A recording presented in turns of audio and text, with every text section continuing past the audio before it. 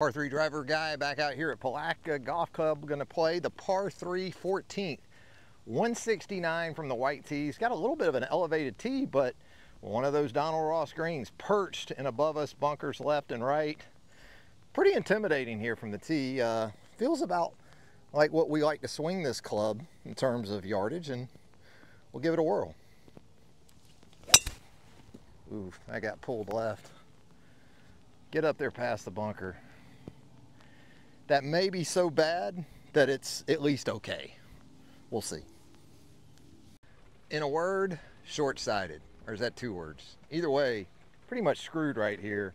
Left of the bunker, begged it to get up past the bunker, maybe around pin high, did not listen. So with this lie and that shot and that pin, probably just gonna bump it out here and see if we can make a putt.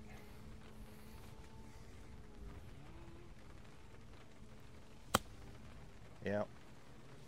A little more left than I wanted, and probably a little more pace, but that's gonna have to do. Right to left and down the hill. Still gotta remember to hit it though.